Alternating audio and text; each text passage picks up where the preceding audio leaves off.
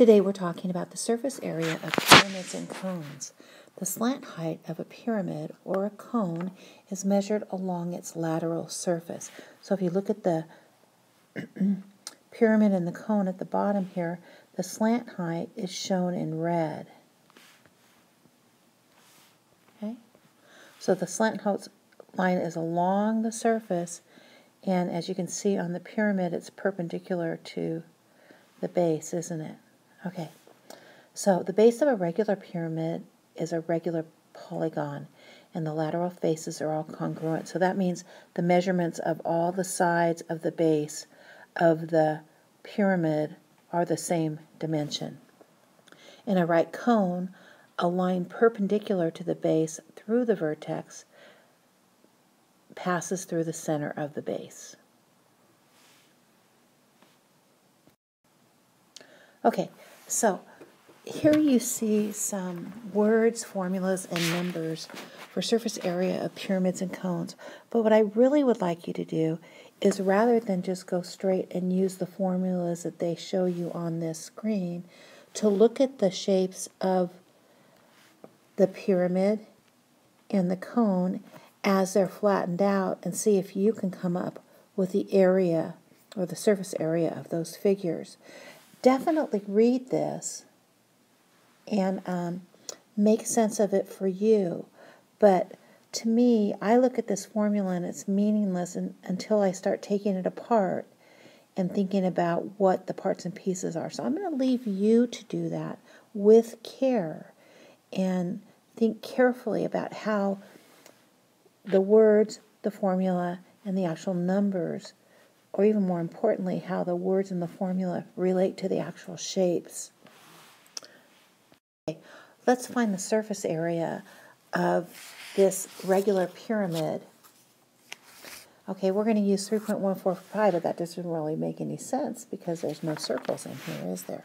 Okay, so if I open up this figure, if I just look at it, I have the base, okay, and the base is 2.4 feet by 2.4 feet. So the area of the base has to be its width times its length, which is 2.4 times 2.4, which would mean the area of the base is 5.76 square feet. Okay? Now, we've taken care of the base. Let's look at the faces, these triangles. Now remember, in a regular rectangular pyramid, we're saying that all four faces are congruent. So that means that they have the same height and the same um, base. So the area, let's do that in a different color just to make sure we're on the same page. So the area of one face is one half its base times its height. Okay? But remember, we have four of these triangles, so we're going to do four times that. So 4 times 1 half times, well, the base is 2.4 feet, and the height, that's a slant height, is uh, let's see, three feet, right? Okay, so there we go.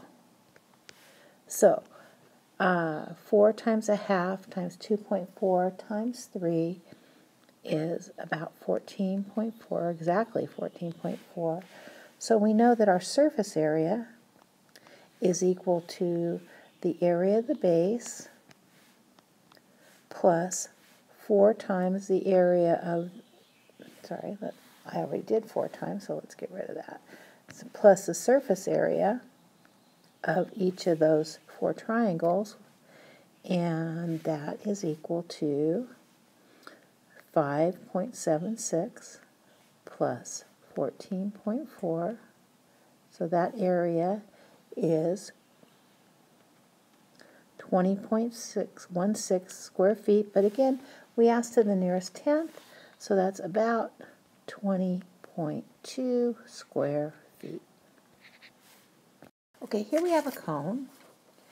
And um, let's read the problem. The upper portion of an hourglass is approximately an inverted cone with the given dimensions. What is the lateral surface area of the upper portion of the hourglass? Now this is definitely a problem where I should have written use 3.14 for pi.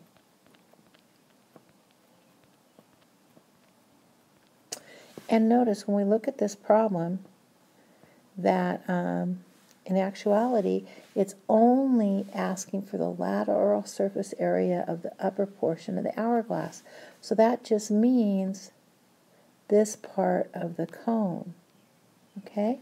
So if I were to draw that shape, the cone here, it and I flatten it out, of course it would look like this. There's the base, and then here's the lateral surface area. Okay? But we don't want the base in our calculation. We're only going to find the lateral surface area.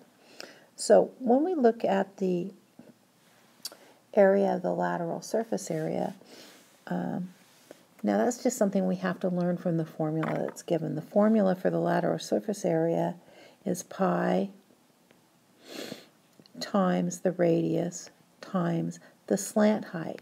Okay, so here, if you look at this cursive L, that's the slant height. Okay, so the slant height is, well, we don't know the slant height because they gave us the height of the cone. The slant height is this dimension right here, which we don't know. So it looks to me like we're going to have to figure it out by building a right triangle. So here's that right triangle. Here's the radius, it's 10 millimeters. The height of the cone is 24 millimeters. And this is the lateral height, that's what we want to find. So we use the Pythagorean theorem. So we know 10 squared plus 24 squared equals L squared. Okay? So we need to get our calculators out. Or else if you recognize the Pythagorean triple, it's a 5, 12, 13. Let me make a little note of that in there for you. Maybe a 5, 12, 13, which would make the lateral height actually 2 times 13 or 26. So I don't need no stinking calculator. So now I have all the numbers I need to find the surface area. It's equal to pi times the radius, which is 10, times the lateral, or slant height, excuse me, which is 26, and that's equal to 260 pi. Now remember, I like to um, keep my problems in terms of pi until I'm ready to do my final calculation. And of course,